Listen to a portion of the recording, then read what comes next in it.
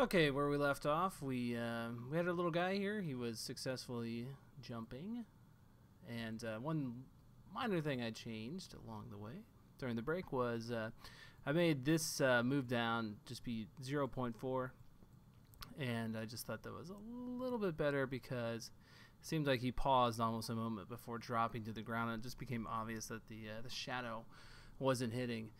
And one other thing I should mention too uh, you know, we're gonna. This is a long series. At least I'm planning on making this a long series on uh, on Sprite Kit, and uh, we didn't really go into the uh, the class reference here. So if you ever feel like uh, checking that out, you can always go to uh, SK Action, then uh, click on um, the uh, the reference, and of course you might need to sign in, like I keep getting that prompt to do. And okay, so if you look inside of here, uh, you'll see that there are plenty more possible actions. Uh, move by X, uh, move to, that that could take you to a, an exact location.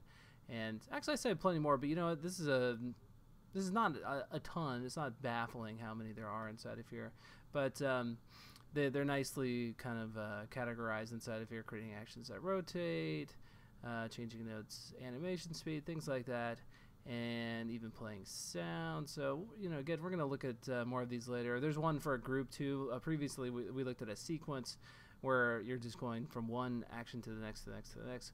Uh, but there's also a uh, group one where you can kind of spawn a ton of them at once. That's uh, kind of a Cocos 2D term right there for actions, spawning them. And we can uh, even repeat actions and things like that. So, um, well, I'll try to get a few more of those in here in just a moment. But just so you're aware, you can always go and uh, kind of do a bit more research in the reference guide. And uh, so what are we at with this? Well, uh, let's go and uh, make it so that the scene uh, kind of resets or uh, starts the game over if you've gotten enough damage done to you. And let's track that with a the, with a variable called hit count. So I'm going to go and just write in here int. And you know what? Let's organize these a bit better. Int hit count and by default when the scene opens up this will always equal zero. So even if we were to reset the scene it's going to go back and reset those variables again back down to uh, zero. And what we're going to check is if uh, when the damage is done if your hit count is equal to 3 Okay, now of course at some point in here we've got to increment that up some. But if that is the case, we're going to call self game over. And the reason I'm, I'm testing this inside of our damage done statement is because uh, inside of uh, here, when we actually do our damage, I want there to be a little bit of a flicker of pain, you know, the character turns red.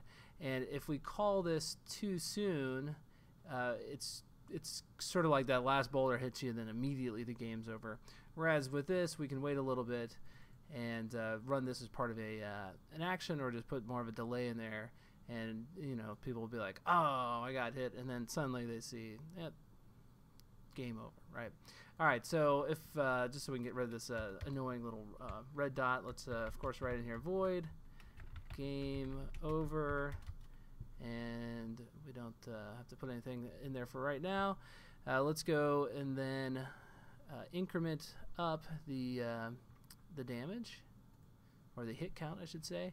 So inside of our do damage, that makes sense. We can write inside of here a line like this: hit count equals uh, hit count plus one, or you can do the same thing by just writing plus plus like that and that will just uh, move it up one and I have no clue why okay obviously that weird little error there I don't know why that showed up no why is it back oh this might not be a semicolon I bet you that's oh yeah there we go duh I had the equal sign in there Programming 101. Okay, so now let's set up some actions inside of here. One fun one, of course, uh, when you uh, when you get hit by that boulder, you should get pushed back a little bit. So let's uh, put in another action here. This will be called push equals sk action, and again, uh, let's go move by x, and this time we actually will move by the x. So we're going to go negative 50 there. And then on the y, we're going to leave it alone. So we're not going to push them at all on the y. And then uh, for the uh, the amount of time this will take, let's just go with 0.2 seconds. So it's a quick little pushback. And this will be kind of fun because it'll sort of seem like you're going to get pushed back toward the, uh, the, the cliff. And, you know, if you want to go the extra mile with this, you can, of course, program that functionality in. That would actually be a good kind of a test. And, uh, oh, I'm sorry, I need to... Uh, I need to refer to my um, my character yet again inside of here. And just for the heck of it, so you guys kind of get a little bit of a review here too, uh, let's do this. Let's pass in the SK sprite node into this method as a parameter. Okay, and we'll call this. Uh, oh, we can just call it character here. Okay, so now what we can do is uh, write character run action push. Of course, the only problem is is that when we call previously when we called do damage, there was no character getting uh, passed into this. So we do need to go and find that. Yep, sure enough, we got that little red mark right here, and just put that in and write character after that. Okay.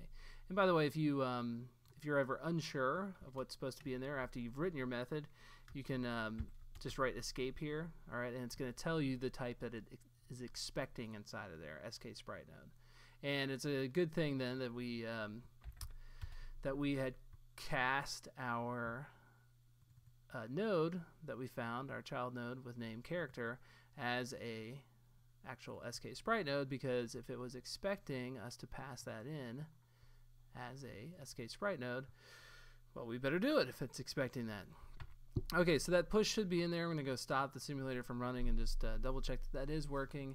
And anytime you start passing something around via parameter, it's, it's a good idea to check that out. So there you go. He, he is actually getting uh, pushed around. Gets pushed one more time. Of course, by that third time he gets hit, uh, we're going to run the uh, game over, but uh, we'll save that for just a moment. And then let's move this off to the side for just a moment because I think I'm to need every bit of available space for this last one. SK Action uh, Pulse Red, and of course we're to make him Pulse Red for a second. So we're to write SK Action. This will be um, a sequence, and um, previously you guys all saw, I'm sure, that we put that uh, at symbol in there, and then we put in our our objects, and then we uh, closed off this little guy like so, right? And if you need a little review of that, well, we did that right over here. So here's where we set up our sequence, had that uh, at symbol, open, closed, and then our final closing bracket. All right, so we're going to do pretty much the same thing down here, but we're going to get fancy with it, and we're going to create our other actions while we are within this one line right here. Okay, and if you don't want to do it like that, you certainly don't have to. And uh, don't worry about the, the extra white space in here. That does get ignored.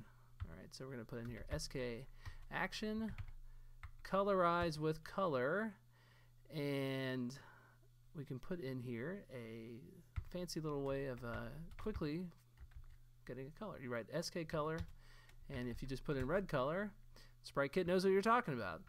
For color blend factor, we're going to bump this up to 1.0. By default, it would be at 0. And we're going to make this occur over 0.1 frames. Um, zero, I said frames. 0.5 seconds. All right. And then um, you put that uh, comma in there just like you would if you were separating out your uh, variable names for your actions like we were before. Uh, I'm going to skip down another line here, and I'm just going to write SK action colorize with blend factor, or colorize with color blend factor, and then I'm going to set this back down to zero again. So it's going to take down my blend factor to the uh, default, and we'll just do that over 0.5 seconds. Again, close that off and put in the comma, and finally SK uh, action, perform selector at selector. And now I'm going to call damage done via this. And again, on target is going to be self. And uh, let's see, is that uh, should just be telling me that's unused. Okay, so I don't need to call this anymore uh, via that line. And what I can do now is write the oops no, character run action pulse red. Okay, so after this occurs, it's going to tell us that our damage has been done. It will call that. And let's just put in here a little log statement that um, verifies that uh, game over, man.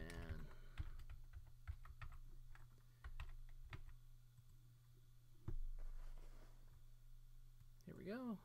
All right, turns red. Let's see if I can avoid one. Yay, I did. All right, boom. And let's keep our eye down here. All right, so sure enough, after that, uh, after that third damage being done, it said uh, "Game over, man." And here's our opportunity to run an entirely new scene. SK scene. Let's just call this guy next scene. It's going to equal CS my scene. Wait a minute, that's the name of the class that we're in right now. Well, yeah, we're just going to rerun everything. Init with size. This will be self.size. So just the exact same size of this current uh, scene, which is the size of um, your device that you're running. And SK transition. There's some transition transitions in here already set up for you, and one of them is called uh, doors open vertical with duration. Uh, and so we'll call our instance name for this uh, just doors. SK transition doors. Look at all these other options you got in here, and I'm sure there's plenty, plenty more. I've yet to look into them. Uh, doors open vertical with duration. Yep, that's the one from my notes. So 0.5, and by the way, when I say notes, there's not like a notepad here. I'm just looking at the Xcode project I worked on previously. And pre- uh, pre- so self.view present scene, and then we're just going to put in here next scene, and then our, our parameter here is going to be that transition of doors. Okay, so it's just three lines of code that takes care of that. And uh, obviously, if uh, if you wanted to show a different scene other than the one that you have, well, that's uh, easy enough because uh, you know it didn't take much work to uh, well, actually, when we had our header and our implementation, our .h and our .m file, uh, when this was created, the, the .header file was practically blank. The dot .m file, we, we picked apart that um, that template from in the previous video, so you know exactly what was going on with these files from the start. Uh, you can easily uh, create new files, new header files, new implementation files. Uh, just basically put in what you had before.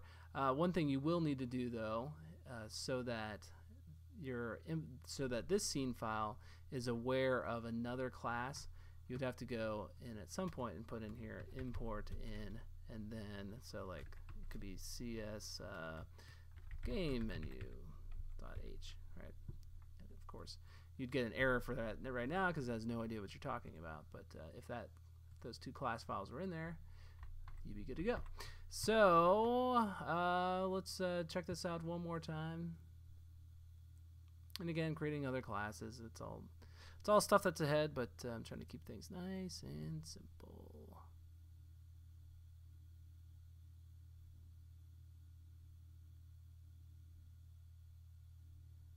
Okay, so I'll try not to actually play this game and uh, get hit three times.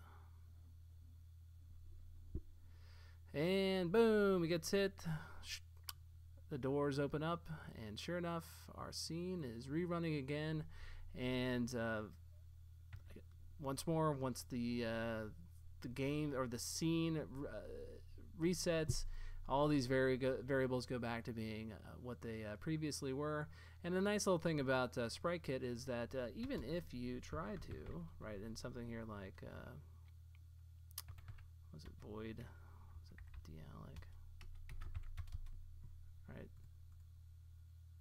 Or was it id dealloc? I can't remember.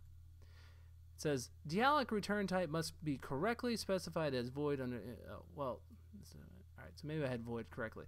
Well, what I'm looking for is is the message that tells me because I tried to do this earlier. The message that tells me you can't dealloc anything in an ARC game, and ARC stands for automatic referencing. I don't know why it's not giving me the message. Well, anyway, it was nice to see that uh, you don't have to worry about releasing uh, things or setting them to nil. Uh, you're just good to go at this point. All right, uh, SpriteKit slash Xcode, they're going to take care of the uh, all that fun memory management that was kind of a, a pain in the butt before. And uh, here you go. You got a nice little game to work with and maybe keep working with if you want to modify it further and I get to take a big break for the day.